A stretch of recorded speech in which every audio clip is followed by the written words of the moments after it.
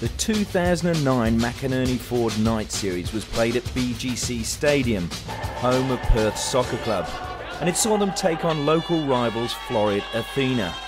The thing was, Perth have won 8 out of the last 11 tournaments that have been held in the Night Series, and they were also hoping to win their fourth tournament on the trot. Arch rivals, as we said, Floreat Athena versus Perth, as referee Tom Claver met the two captains and they prepared to do battle in front of a crowd of over 2,000.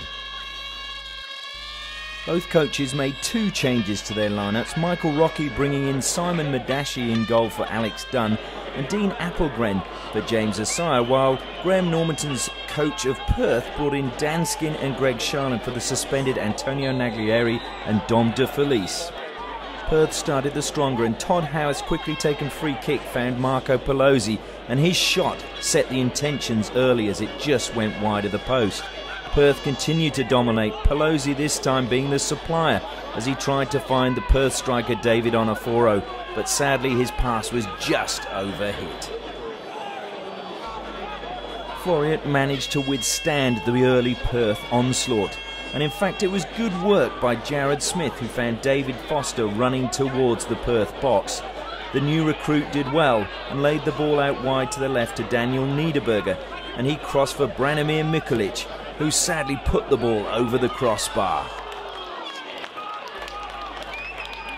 The game was beginning to open up and both teams had their chances. First, Onoforo was found with a wide ball on the right hand side of the box. He laid the ball back to Charlin, but his shot just skewed past the outside of the keeper's post.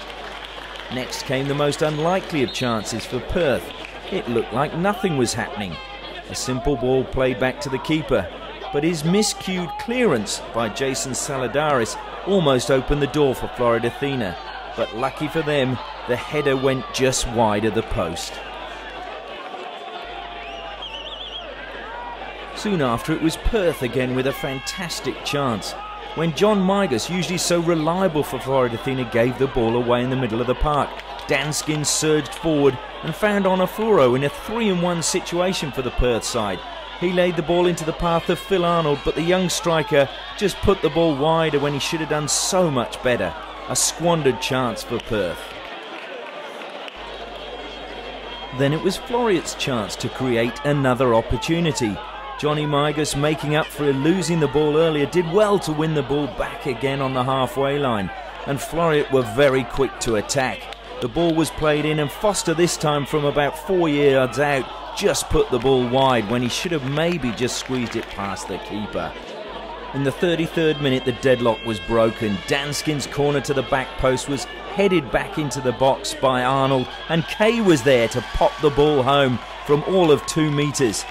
A fantastic finish by the big defender who was right on the spot when he was needed, and the crowd were really happy to see their home team. Danskin's ball very deep as we see it again to the back post. Phil Arnold does well to pull off his marker and just head it into the mixing box, and Kay just slots it home. 1 0 to Perth, and it looked like the Night Series crown could be theirs for a record fourth time in succession.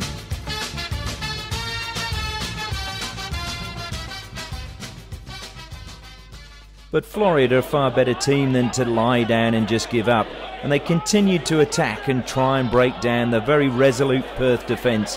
But there was nothing they could do as the half-time whistle approached, and they had to go in with a 1 0 deficit and come out and see what they could do in the second half.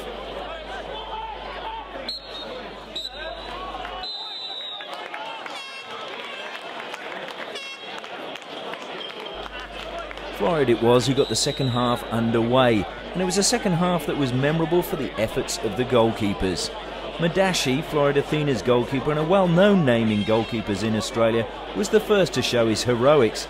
A wonderful ball in from Howarth was played back at the edge of the box, and Danskin surging forward brought the best out of the young keeper.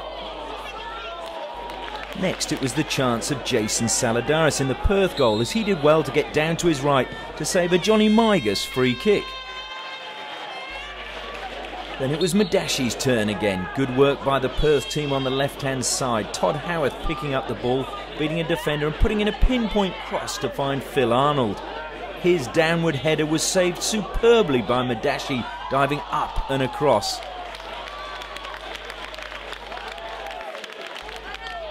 Perth were beginning to dominate, and when Phil Arnold picked up the ball on the edge of the box, he found Pelosi wide on the left hand side. Pelosi took a touch and then played a cross come shot which Onoforo almost got on the end of. Arnold, he of the Ronaldo stepovers, was provider again not long after. He played a wonderful ball through for David Onoforo. The Perth striker did very well to get the ball round the goalkeeper, but the angle was tight and he put the ball over the crossbar. Good goalkeeping. With the game opening up, Onoforo had plenty of space, and when Michael Black found him on the right hand side, he surged forward into the Floreat box. Probably took his shot a little bit early and put it past the post, squandering another chance for Perth. Soon after, Perth nearly paid for those missed opportunities. Paul Vatista's wonderful flick over his head was played forward to Scott, and Saladaris made a fantastic save from three or four yards out. Next, it was Saladaris who had a little bit of luck as that cross come shot hit the crossbar and ricocheted almost to safety as Scott could do nothing and he got down to make an easy save.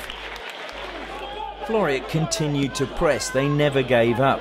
And really, Johnny Migas should have done better when he had time from a wonderful ball on the right hand side, found him in space on the left, brought it down well on his chest, but just couldn't get over the ball and put it over the crossbar. Space opening up all over the park, Marco Pelosi, the former Hearts player, had a chance to show the fans what he can do and how he's going to be a danger in the season ahead. The finish not matching the run. There was still time for Floreat Athena to get the much needed equaliser. A free kick on the right, played in. Saladaris did well to punch the ball clear, and there was no time for Floreat to get the ball back in and get that much needed equaliser. The final whistle sounded, and Perth had won their fourth McInerney Night Series, and there were hugs on the bench all around. Coach Graham Normanton sadly missing out because he was up in the stand. Dennis McInerney from McInerney Ford presented Todd Howarth with the cup, and boy did he look happy.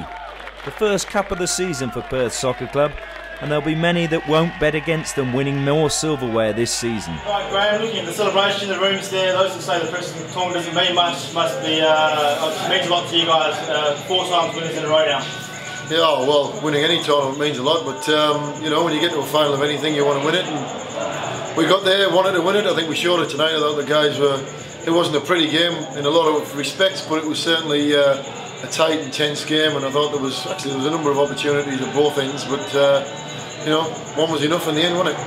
And why do you think your guys uh, have an affinity with the night series? I think that's eight times in 11 years in the last four. Something special about the competition that uh, drives you guys to, to excel in it? Um, I'm not sure why we do well over over over and above anybody else, other than I use it for preparation for the season. And the lads are fighting for their places, and you know if they want a place in the team.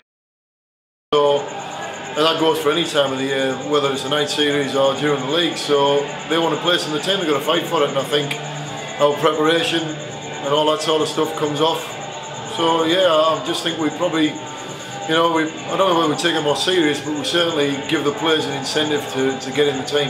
And I think that must be something to do with it. And obviously this gives you a fantastic springboard into the uh, season proper. Hopefully, yeah. Last year we didn't go on with it very well. Um, you know, we sort of fell in a hole after until about the seventh game of the season last year. Hopefully that doesn't happen. We've we've put things in place that will guard against that this year. So the proof will be in the pudding, won't, won't it? But uh, hopefully we'll, it's a springboard for the season. Yeah. You, Graham. Enjoy the win. Thanks, mate.